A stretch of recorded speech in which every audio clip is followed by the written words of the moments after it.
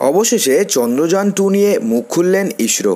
খুশির হাওয়া সমস্ত দেশ জুড়ে। কী বলল ইসরোর চেয়ারম্যান? জানতে ভিডিওটি সম্পূর্ণ দেখতে থাকুন। তবে ভিডিওটি শুরুর পূর্বে আপনি যদি চন্দ্রযান টু নিয়ে গর্ববোধ করে থাকেন, তাহলে অবশ্যই ভিডিওটিকে লাইক করবেন এবং ভিডিওটিকে প্রচুর শেয়ার করবেন এবং ভিডিওর কমেন্ট বক্সে আপনাদের এখন কী ভাবছেন অবশ্যই জানাতে ভুলবেন না।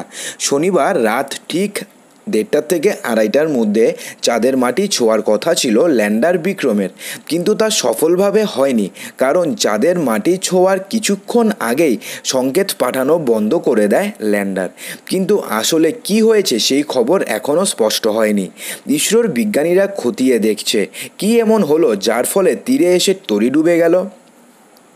অবশ্য তারা এখন একটা ইতিবাচক কথা বলছেন। তারা বলছেন যে চন্দ্রযান দুই এর এখনও নাইনটি ফাইভ পারসেন্ট অংশ অক্ষত অবস্থায় রয়েছে, যেটা চাঁদের চারিদিকে নির্দিষ্ট কক্ষপথে ঘুরে বেড়াচ্ছে।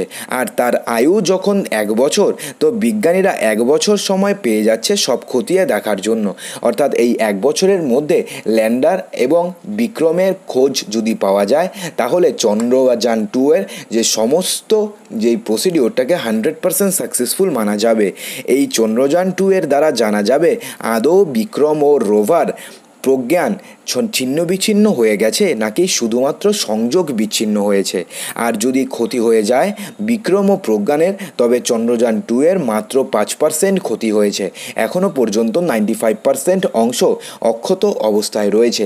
আর আমরা প্রে করব যেন কিছুদিনের মধ্যেই আমরা চন্দ্রযান টু এর যে অংশটির এখনও কোনো খোঁজ পাওয়া যাচ্ছে না, সেই অংশের খোঁজ যেন পাওয়া যায় এবং বিক্রম এবং রোভার প্রজ্ঞানের যেন খোঁজ পাওয়া যায় এবং তারা যেন ভালো থাকে, তাহলে পরে সেই রোভার প্রজ্ঞান এবং বিক্রমের থেকে আমরা কিন্তু চাঁদের মাটি সম্বন্ধে এবং সেখানকার খনিজ পদার্থ কী রয়েছে সেই সম্বন্ধে কিন্তু আমরা যথার্থ আমরা ডিটেলস পেয়ে যাব, যার জন্য চন্দ্রযান টু পাঠানো হয়েছিল।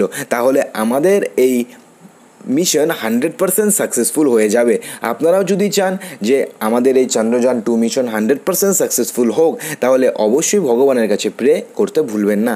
আর যদি ভিডিওটি ভালো লাগে লাইক করবেন শেয়ার করবেন চ্যানেলটিকে